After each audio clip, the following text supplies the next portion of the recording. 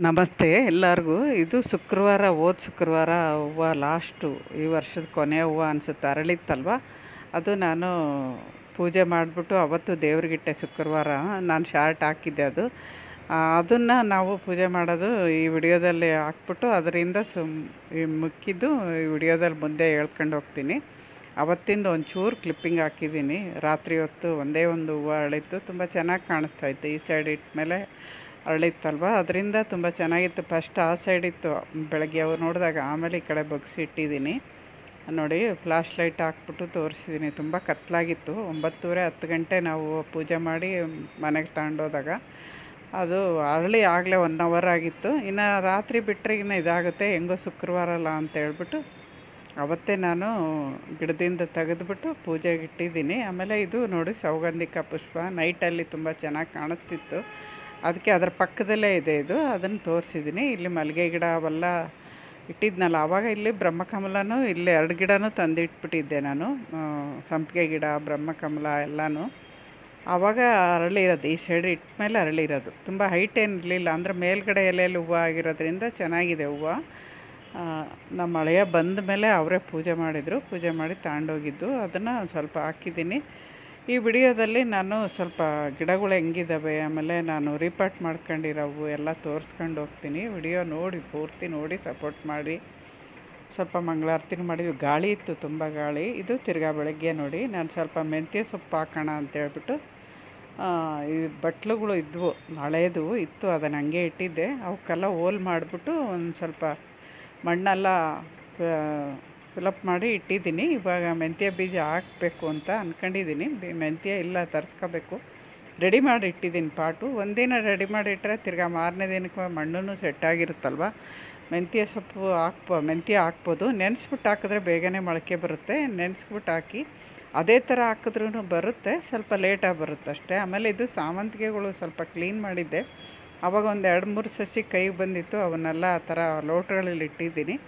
ಆಮೇಲೆ ಇಲ್ಲಿ ಮಲ್ಲಿಗೆ ಗಿಡಗಳಿಗೆ ಇನ್ನೂ ಇವಾಗ ಹೂವು ಇಲ್ವಲ್ಲ ಅಂತ ಹೇಳ್ಬಿಟ್ಟು ನಾನು ಲಾಂಗ್ ಬೀನ್ಸು ಅಥವಾ ಚಪ್ರದವರೆಕಾಯಿ ಒಂದೊಂದು ಬೀಜ ಇಟ್ಟಿದ್ದೀನಿ. ಅಲ್ಲಿ ಹಬ್ಬಕ್ಕೆ ಹಬ್ಬಿಸ್ಕೋಬೋದಲ್ಲ ಅದು ಅಲ್ಲದೆ ಚಪ್ರದವರೆಕಾಯಿ ಲಾಂಗ್ ಬೀನ್ಸು ಇಂಥದ್ರೆಲ್ಲ ಬೀಜದಲ್ಲಿ ಗಿಡ ಬೇರಲ್ಲಿ ನೈಟ್ರೋಜನ್ ಇರುತ್ತೆ. ನೈಟ್ರೋಜನು ಗಿಡಗಳಿಗೆ ಮಲ್ಲಿಗೆ ಗಿಡಕ್ಕೆ ಸಿಗುತ್ತೆ ಅನ್ನೋ ಇದಕ್ಕೆ ಅಲ್ಲಿ ಇಟ್ಟಿದ್ದೀನಿ ಒಂದು. ಆಮೇಲೆ ಸಂಪಿಗೆ ಹೂವನೂ ಅರಳಿತ್ತು ನೋಡಿ ಇದು. ಸಂಪಿಗೆ ಹೂವು ಅರಳಿದೆ. ಅದನ್ನು ಪೂಜೆಗೆ ಕೇಳ್ತೀನಿ. ಡೈಲಿ ಬಿಡುತ್ತೆ. ಸುಮಾರು ಹದಿನೈದು ದಿನ ಆಯಿತು ಡೈಲಿ ಬಿಡೋಕ್ಕೆ ಅದು. ದಿನ ಒಂದು, ಎರಡು ಇರುತ್ತೆ. ಒಂದಿನ ಆದರೆ ಐದು ಹೂವು ಬಿಟ್ಟಿತ್ತು. ಖುಷಿ ಆಯಿತು ನನಗೆ. ಈ ವರ್ಷ ಜಾಸ್ತಿನೇ ಹೂವು ಬಿಟ್ಟಿದೆ.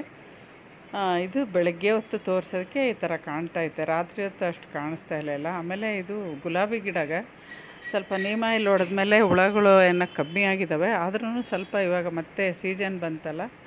ಅದನ್ನೆಲ್ಲ ಸ್ವಲ್ಪ ಪ್ರೂನ್ ಮಾಡ್ಕೋಬೇಕು. ಹೂವು ಆಗೋದ್ಮೇಲೆ ಒಂದು ಎರಡು ಮೂರು ಗಿಡದಲ್ಲಿ ಮಾತ್ರ ಹೂವು ಇದೆ. ಇನ್ಯಾವ ಯಾವ ಗಿಡದಲ್ಲೂ ಹೂವು ಇಲ್ಲ, ಚಿಗುರ್ತಾ ಇದೆ. ಸ್ವಲ್ಪ ಪ್ರೂನ್ ಮಾಡ್ಕೊಂಡು ಮತ್ತೆ ಅದಕ್ಕೆ ಏನಾದ್ರು ರೋಸ್ ಮಿಕ್ಸ್ ತರಿಸ್ಕೋಬೇಕು ಅಂದ್ಕೊಂಡಿದ್ದೀನಲ್ಲ, ಅದನ್ನು ತಂದು ಹಾಕಿದಾಗ ನೋಡೋಣ ಹೆಂಗೆ ಬರುತ್ತೆ ಅಂತ. ಒಂದೊಂದು ಎಲೆ ಆಗಿರೋದನ್ನು ಪ್ರೂನ್ ಮಾಡಿದ್ದೀನಿ, ಒಂದೊಂದು ಹಂಗಂಗೆ ಬಿಟ್ಟಿದ್ದೀನಿ. ಇದನ್ನೆಲ್ಲ ನಾನು ವಿಡಿಯೋ ಮಾಡೋಕ್ಕಾಗಿಲ್ಲ. ಪ್ರೂನ್ ಮಾಡೋದು ಅದೆಲ್ಲ ಮಾಡಿ, ಎಷ್ಟೋ ಸರಿ ವಿಡಿಯೋ ಮಾಡಿ ತೋರಿಸಿದ್ದೀನಿ, ಪದೇ ಪದೇ ತೋರಿಸಿ ಚೆನ್ನಾಗಿರಲ್ಲ ಅಂತ. ಅದನ್ನೊಂದು ರೋಜಾ ಗಿಡ ರಿಪೇಟ್ ಮಾಡ್ಕೊಂಡಿದ್ದು ತಂದು ಇಲ್ಲೇ ಇಟ್ಕೊಂಡೆ. ಅವತ್ತು ದೊಡ್ಡಾಲದ ಮಾತ್ರ ಹೋಗಿದ್ನಲ್ಲ, ಅದು ತಂದು ಇಟ್ಟಿದ್ದೀನಿ. ಇವು ನಾನು ಕ್ಲೀನ್ ಮಾಡ್ಕೊಬರೇ ಕಟ್ ಮಾಡಿದ್ನಲ್ಲ, ರೋಜಾ ಕಟಿಂಗ್ ಇರ್ತಾವಲ್ಲ ಅಂಥವೆಲ್ಲ ಇಲ್ಲಿ ಇಟ್ಟಿದ್ದೀನಿ. ಬಂದರೆ ಬರುತ್ತೆ, ಇಲ್ಲ ಅಂತ ಅಂದರೆ ಇಲ್ಲ ಅಂತ.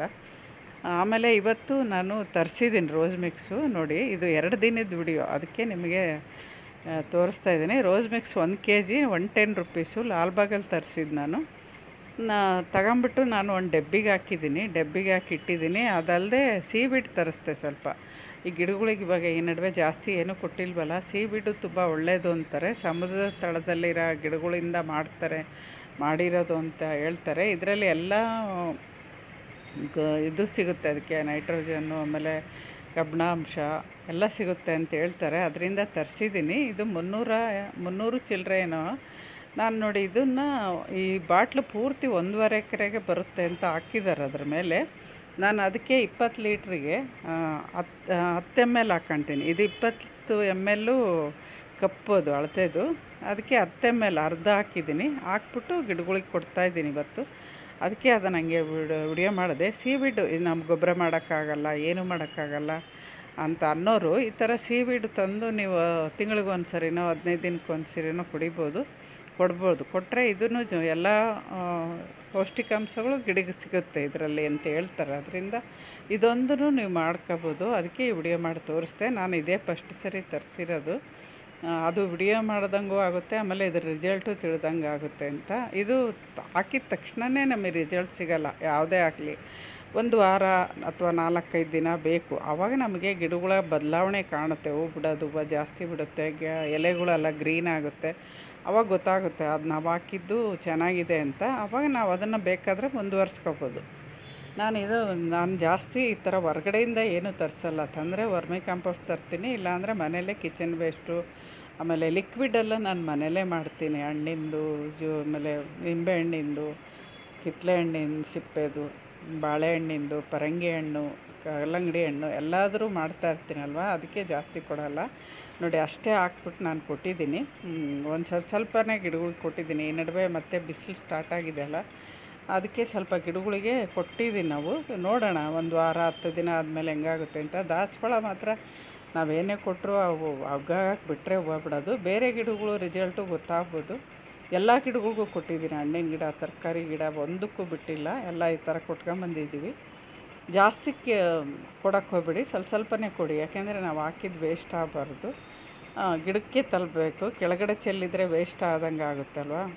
ಅದು ನನಗೆ ಸುಮಾರು ಎಷ್ಟೊಂದು ಗಿಡ ಇದ್ದಾವಲ್ಲ ಎಷ್ಟು ದಿನ ಬರುತ್ತೋ ಗೊತ್ತಿಲ್ಲ. ನೋಡೋಣ ಅದು ಎಷ್ಟು ದಿನ ಬರುತ್ತೆ ಅಂತ. ನಾನು ಇವಾಗ ಕೊಟ್ಟ ಮೇಲೆ ಒಂದು ತಿಂಗಳವರೆಗೂ ಏನೂ ಕೊಡಲ್ಲ. ಮಧ್ಯ ಮಧ್ಯೆ ನಾನು ಮಾಡಿರೋದು ಏನಾರು ಆದರೆ ಕೊಡ್ತಾ ಇರ್ತೀನಿ ಅಷ್ಟೇ ಮತ್ತೆ ಇದನ್ನೇ ರಿಪೀಟ್ ಮಾಡಲ್ಲ ಒಂದು ತಿಂಗಳ ತನಕ. ಈ ಥರ ಮಾಡ್ಕೊಂಡು ನೀವು ಮಾಡ್ಕೋಬೋದು. ಯಾಕೆಂದರೆ ಹೊರಗಡೆ ಕೆಲ್ಸಕ್ಕೆ ಹೋಗೋರು, ಗಿಡ ಬೆಳೆಸ್ಬೇಕು ಅಂತ ಆಸೆ ಇರುತ್ತೆ. ಅವನ್ನೆಲ್ಲ ಮಾಡೋಕ್ಕೆ ಜಾಗನೂ ಇರಲ್ಲ, ಟೈಮೂ ಇರಲ್ಲ. ಅಂಥವ್ರಿಗೆ ಇದು ಎಲ್ಪ್ ಆಗುತ್ತೆ ಅನ್ನೋ ಇದಕ್ಕೆ ನಾನು ವಿಡಿಯೋ ಮಾಡಿದ್ದೀನಿ. ನೋಡಿ, ಇವತ್ತು ತುಂಬ ದಿನಗಳ ನಂತರ ಇದು ಆ ಕಡೆ ಸೈಡ್ ಇತ್ತು. ಮಗು ಇದು ಶಂಖಪುಷ್ಪ. ಇದು ಮಾತ್ರ ಅಳ್ತಾ ಇದೆ. ಮಳೆ ಬರ್ತಾ ಇದ್ರೂ ಚೆನ್ನಾಗಿ ಅಳ್ತಾ ಇದೆ. ಆಗಾಗ ಹಣ್ಣು ಗಿಡಕ್ಕೆ ನೀರಾದ ಜಾಸ್ತಿ ಆದಾಗ ಎಲೆ ಎಲ್ಲ ಎಲ್ಲೋ ಅದೇ ತೆಗಿತೀನಿ. ಆಮೇಲೆ ಇದು ನೋಡಿ, ಎಲೆ ಕಲರ್ ಅದೇ ಥರ ಇರೋದ್ರಿಂದ ಇದರಲ್ಲಿ ಮೊಗ್ಗು ಕಂಡಿಲ್ಲ ಅದಕ್ಕೆ. ಇವತ್ತು ಆ ಊರು ಅರಳಿದೆ ದಾಸವಾಳ. ನಮಸ್ತೆ. ಇನ್ನೊಂದು ಹುಡುಗದ ಸಿಗ್ತೀನಿ.